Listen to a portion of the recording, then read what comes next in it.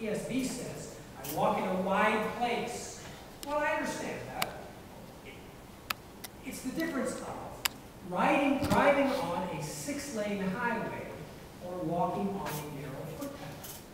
I mean, there's a lot more liberty when you're driving on a six-lane highway just kind of, you know, wander and drift, but still stay on the highway. And so he, that's, the word technically is a wide place. But it translates well when we say, I will walk in liberty, for I seek your precepts. And, to many of us, this is kind of an oxymoron. How, how, how do we find more liberty when we're seeking the precepts and the laws and the commandments of God? Doesn't that make us more restricted? But Jesus says this, and I really, I love this, that uh, Jesus says to us in Luke chapter 4, uh, as was his custom, he went to the synagogue on the Sabbath day, and he stood up to read. And the scroll of the prophet Isaiah was given to him. He unrolled the scroll and found the place where it was written, The Spirit of the Lord is upon me, because he has anointed me to proclaim good news to the poor. He has sent me to proclaim liberty to the captives and recovering of sight to the blind, to set at liberty those who are oppressed, to proclaim the year of the Lord's favor. Why is it that people who are not Christians typically see Christianity as being restrictive, being regulatory, being very confined, when Jesus himself says, God has sent me to proclaim liberty to the captives. You see, we, we, we've got this wrong. People who look at Christians, they don't understand what it means to be free from the bondage and the slavery that sin keeps us in. And what it means then to, to have sight. When, when you're blind, you can walk anywhere you want to. You really can. And, and not be responsible for it because you can't see where you're going. Right? But when you've got eyes, when you've got eyes, you're free to see all that's around you and choose the right path to go. We've been delivered from blindness. We've been, our eyes have been opened. We can see, we have this liberty. We've been set at liberty. Those who are oppressed to proclaim the year of the Lord's favor.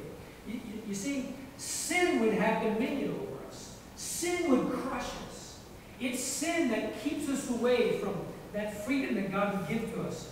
It's the truth of God that brings true and lasting freedom. Here's what John says in, uh, in chapter 8. Uh, Jesus was talking to the Jews who had believed him. These are believing Jews. If you abide in my word, you are truly my disciples. And you will know the truth, and the truth will set you free. There's a great freedom, a great liberty that we have as believers in Jesus Christ. Yes, we're like trains on the track. But thank God for the tracks that give us the movement. You see, we've been beguiled by the promises of sin. The sin promises freedom, but it's fake. False teachers make these false promises. 2 Peter chapter 2 says in verse 18, For speaking loud boasts of folly, they entice by sensual passions of the flesh those who are barely escaping from those who live in terror. They promise them freedom, but they, they themselves are slaves of corruption. And whatever overcomes a person, to that he is enslaved. For whatever overcomes a person, to that he is enslaved. We talked about being slaves of righteousness. If we're overcome with righteousness, then that's what, that's what we serve. The conclusion is this. There are several more things that that uh, Psalm 119 talks about. But I, I want to go uh, immediately to the question then is whether what we know to be true actually lines up with what we live and do. What we know to be true, does it actually line up with what we say and what we do? Yes? We should trust God's word, shouldn't we? We say that we trust and we value God's word. Why? God himself speaking to us.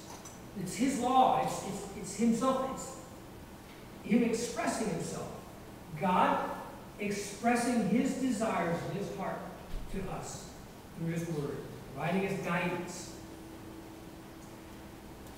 Yes, we say then that we want to do this. But let me ask you these questions.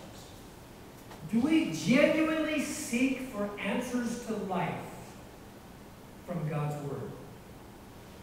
Or do we seek it from our friends, our neighbors, professors, colleagues, family members? Do we genuinely seek answers from God's Word? Now, it may be that God brings somebody into his life, but I'm saying there's, there's got to be a lining up here. We can't be listening to someone who's giving us counsel that goes opposed and different from God's Word. And, and listen, let me say, there's, there's even religious institutions that claim to be Christians but don't follow God's Word. They have placed the institution of the church and the organization above the teaching of God's Word to where they, they actually interpret it for us. I can't exactly agree with that. One of those, one of the things, uh, for example, well, we believe that Jesus is the mediator. There's only one mediator between God and man, the man Christ Jesus.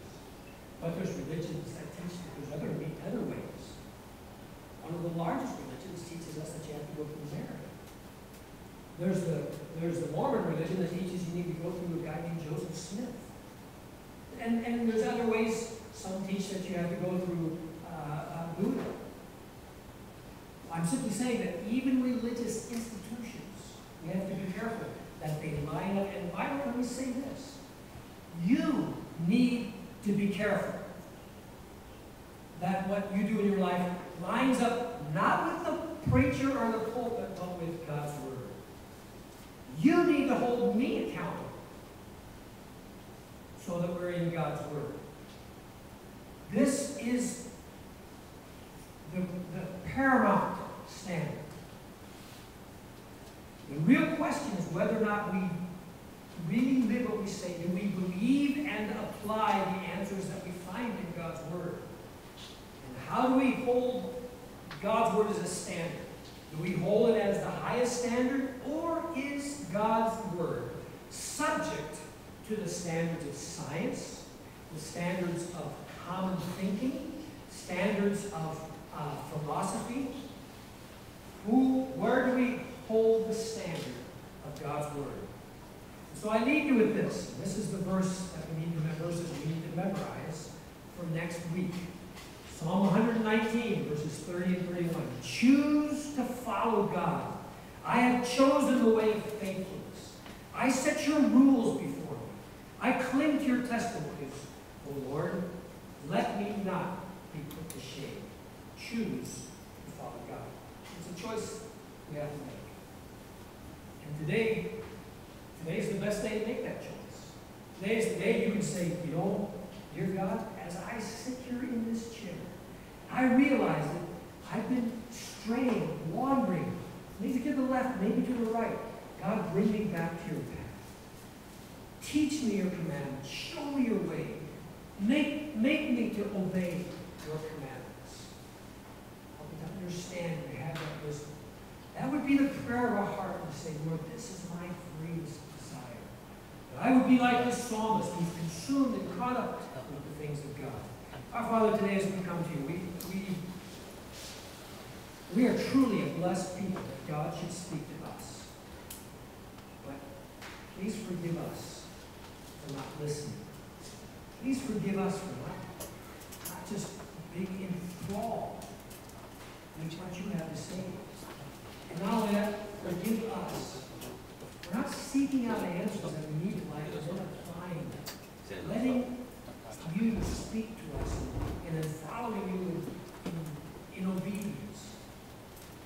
I pray, dear God, that as we see the Word of God, we wouldn't be, we wouldn't allow other things to, to keep us from falling into line with teaching